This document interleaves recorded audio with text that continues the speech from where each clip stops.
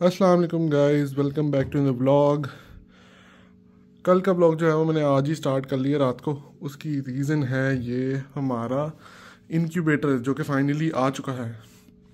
इसको मैं लेके आया हूँ अभी अभी। और इसको ऑन किया है अभी। ये क्योंकि मैनुअल है तो इसका टेम्परेचर अभी सेट कर रहे हैं हम। और इसके अंदर देख सकते हैं आप, बल्ब लगे हुए हैं, चार चालीस चालीस वोट के सामने। वो कंट्रोलर लगा हुआ है। जो सारा कंट्रोल करता है ऊपर फ़ैन लगा हुआ है। तो अभी हमने करना ये है कि इसका अंदर थर्मोमीटर एक रखा है हमने। उसके ऊपर जो है ना हमने टेम्परेचर एक दफ़ा इसका सेट करना है। सेट किस पे करना है? हमने थर्टी सेवन पॉइंट समथिंग पे सेट करते हैं। तो थर्टी सेवन पे हम सेट करेंगे टेम्परेचर तो जब तक टेम्परेचर इसका सेट नहीं होता तब तक ये नॉब पीछे लगी हुई है। हमने इसको हाई करते रहना है। ताकि हाई टेम्परेचर पे ये सेट हो जाए। एक दफ़ा इसकी सेटिंग हो गई फिर इसको हम कभी भी नहीं छेड़ेंगे। फिर हमने बस इनक्यूबेटर चलाना है। आ, पहले एक दफ़ा इसका टेम्परेचर सेट कर लूँ फिर हम हमारे पास ये जो जितने भी अंडे पड़े हैं इन सारों को जो है ना हम इनक्यूबेटर में शिफ्ट करेंगे। तो गाइस ये देखें थर्मामीटर हमने अंदर रखा हुआ है और ऑलमोस्ट सैंतीस पे टेम्परेचर हमारा सेट होने वाला ही है। अभी फ़िलहाल थर्टी सिक्स पॉइंट फाइव तक पहुँचा और फाइनल हमने सेटिंग की है, इंशाल्लाह अब थर्टी सेवन पे जो है ना ये ट्रिप कर जाएगा। नेक्स्ट स्टेप ये है हमारा कि हमने इसको पाँच छः घंटे के लिए चलाना है और उसके बाद जो है ना ये अंडे हमने जितने भी हैं सारे रखने हैं।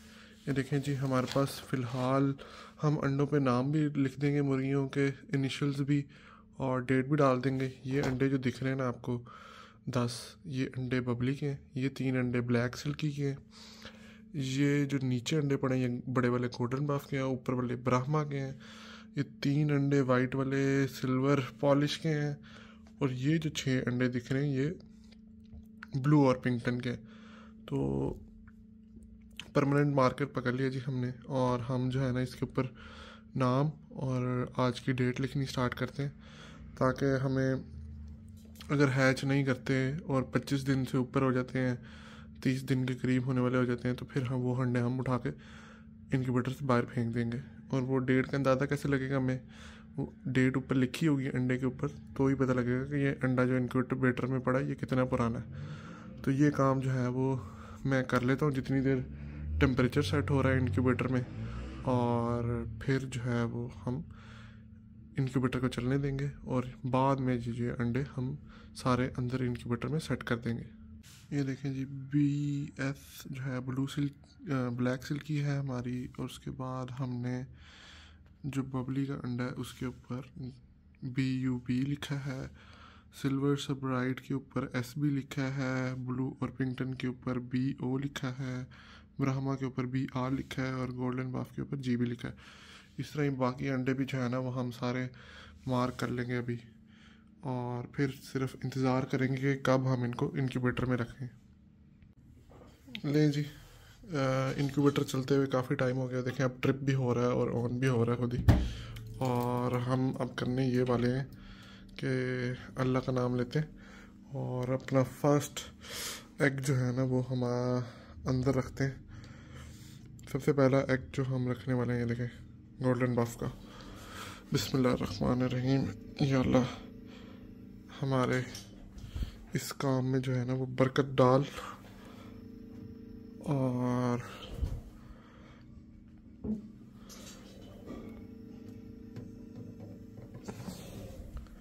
मैक्सिमम हमारे जो है ना, वो कोई चिक्स हैच हो इन जो है ना, वो हम ब्रूडर का भी इंतज़ाम करेंगे।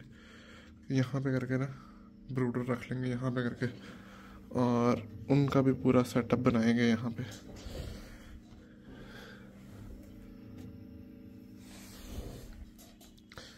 जो नॉर्मली होता है ना इनक्यूबेटर के सेंटर में करके जो है ना, वो सबसे बेस्ट आपको रिज़ल्ट मिलता है।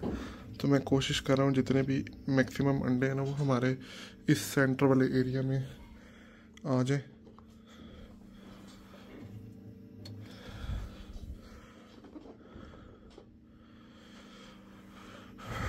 मैनुअल वाले में जो इंक्यूबेटर होता है ना, उसमें एक काम आपको जो है करना पड़ता है।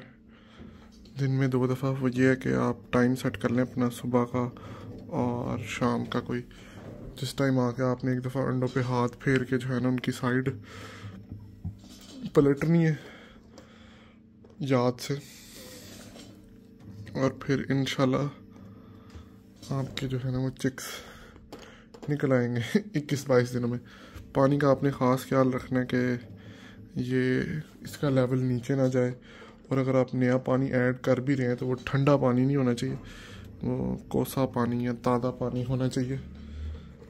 ठंडे पानी से ये होता है कि फिर वो इफ़ेक्ट करेगा आपके इनक्यूबेटर के टेम्परेचर को। जी बबली के अंडे भी अंदर सेट होने स्टार्ट हो गए ये बबली के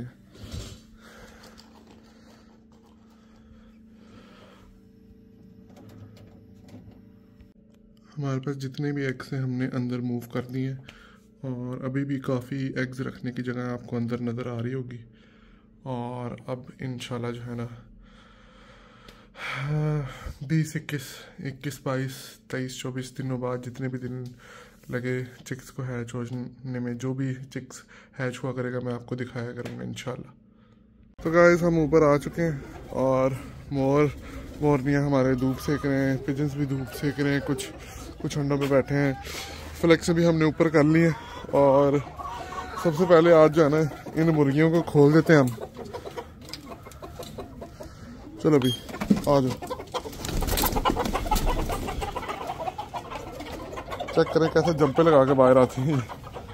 बहुत ज़्यादा ही एक्साइटमेंट लेवल जो है ना, इनका बढ़ जाता। है इधर एक ना, ये दरवाज़ा रुकता नहीं है।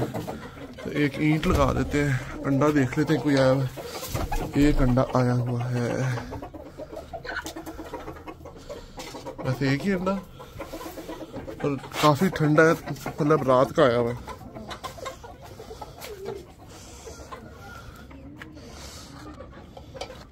देखें, ये वाली मुर्गियाँ कुछ ज़्यादा ही फ्री हो रही हैं। इधर तक पहुँच गई। चलो वापस उधर। इधर आने का किसी ने कहा है तुम्हें? हैं? जितनी देर ये अपना खाना पीना करती है ना, उतनी देर हम जो है ना, जल्दी से मोरों को दाना डालते हैं और पिजन्स को दाना डालते हैं पहले। फिर इनको बंद करके ही जो है ना, वो हम बाकी मुर्गियों को दाना डालेंगे, वरना इन्होंने कभी किसी के केज में जाकर लड़ेंगे, कभी किसी के केज में जाकर लड़ेंगे।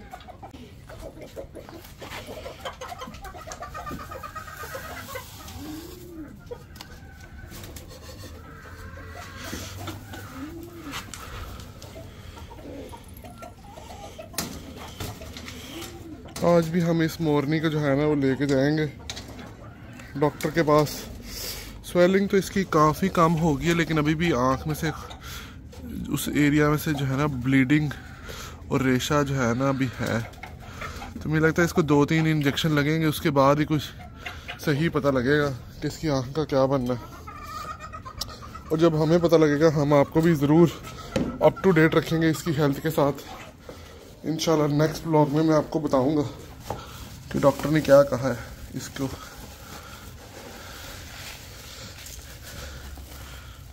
जी अपने पिजन्स के लिए दाना ले जाए ज़रा।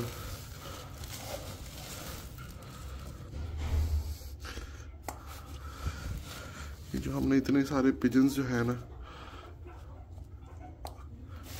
अंडे पे बैठे हैं हमारे, उन्होंने एक दफ़ा अंडों में से बच्चे निकाल दिए ना। फिर माशाल्लाह से हमारे पास काफ़ी सारे पिजन हो जाएँगे। आठ पिजन तो मैंने अभी निकाल दिए अपने।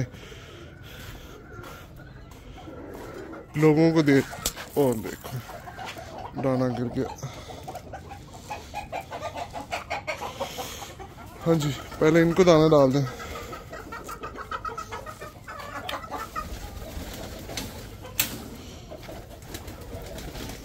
हाँ भाई, कैसे बाहर आने का तो दिल नहीं करता तुम्हारा।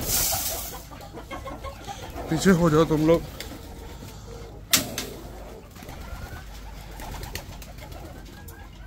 इनका पानी ख़त्म हो चुका है याद से इनको पानी भी डालेंगे।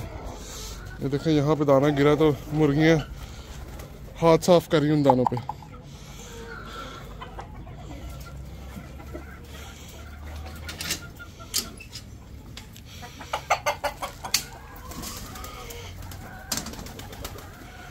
के रास्ते से अंडे देते ना मैं पैर कितने रखा? है?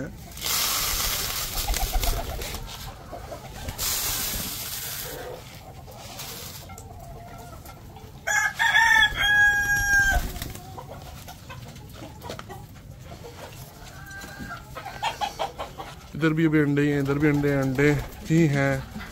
ये तो पहले से ही बच्चे हैं। वो भी अंडे हैं, उधर उधर भी देखते हैं जाके। मेरे ख्याल से अभी तक बच्चे नहीं निकाले किसी ने भी।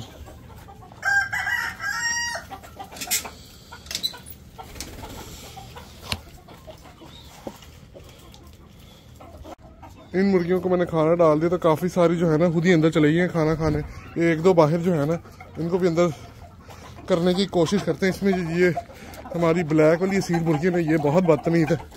ये सबसे ज़्यादा ड्रामे करती है और हमारी गोल्डी ये दो मुर्गियाँ जो है ना सबसे ज़्यादा ड्रामे करती हैं अंदर जाने में। चलो भाई। अंदर मुर्गियाँ पूरी थोड़ी लग रही हैं यार। मुर्गियाँ किधर गई हैं? फिर तुम बाहर आ गई हो। गाय एक मिनट जो है ना, मैं मुर्गियाँ गिन लूँ। मेरी दो मुर्गियाँ गायब हो गई हैं। देखें। यही वो दो हैं। चलो। कैसे दौड़ के गई हैं? इनको पता है इन्होंने गलत हरकत की है। अब खुद ही अंदर चले जाएँगी। तो गाइस इनका दाना पानी हो चुका है। इनका भी दाना पानी हो चुका है। देखें हमारे असील जो है, वो खाना खा रहे हैं। ब्रह्मा हमारी कुड़क पे बैठी हुई है। इसको चेक कर ही लेते हैं। हाँ भाई। कोई निकी पोपा निकाला? अभी अभी दिन नहीं हुए तुम्हारे पूरे। लेकिन फिर भी। बड़ा तुम टांगे स्प्रेड करके बैठी हुई अंडे पे है। सही तरह गर्म करो अंडे। इधर जो है ना हमारे बंटी और बबली को तो न्यूज़ सुना दें, इनको खाना तो मैंने डाल दिया।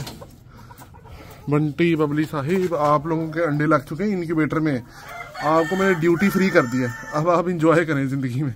बाकी भी जो अंडे आएँगे, आपके इनक्यूबेटर में लगा देंगे इनशाला नेक्स्ट अब मेरी स्ट्रेस यही है कि मेरे पास कोई ब्रूडर नहीं है जिसमें जब बच्चे निकले तो मैं रख सकूँ। लेकिन उसका इंतज़ाम करने के लिए मेरे पास अभी दिन फ़िलहाल काफ़ी है। हमारी ब्लैक सिल्की ने अंडा दिया हुआ है। हम सारे दिन के जो है ना एग्स कलेक्ट किया करेंगे और फिर जब हमने शाम को बेसिकली एक दफ़ा अंडों पे हाथ फेरना होता है और इंक्यूबेटर खोलना होता है ना तब जाके जो है ना उसके ऊपर बस आ, एक ही बारी में ना रख दिया करेंगे। क्योंकि अंडे डिफरेंट टाइम पे सारी मुर्गियाँ देती हैं। और मैं दिन में चार पाँच बारी इनक्यूबेटर खोलूँगा ना तो उसकी फिर फिर परफॉर्मेंस पे जो है ना, असर पड़ेगा। चलो, खाओ दाना। इसलिए हम बार बार इनक्यूबेटर नहीं खोलेंगे। एक ही बारी शाम को जब मैं मुर्गियाँ की फ्लेक्सें वगैरह नीचे करने आता हूँ, सारे अंडे मैक्सिमम जब तक जितने आए हैं वो कलेक्ट कर लेता हूँ। आज ये हमारी ब्लू और पिंकटन अंडा देगी। कल इसने अंडा नहीं दिया था और आवाज़ें चक्करे निकाल दिए। तो गाइस आज के ब्लॉग को हम यहीं पे ख़त्म करते हैं। इन फिर मिलेंगे अब अगले ब्लॉग में। तब तक के लिए दुआ में याद रखिएगा। और स्पेशल हमारी मॉर्निंग के लिए दुआ करें कि ये मॉर्निंग जो है ना हमारी जल्द से जल्द सेहत याब हो जाए। और मिलेंगे इंशाल्लाह फिर अगले ब्लॉग में। तब तक के लिए अल्लाह हाफिज़।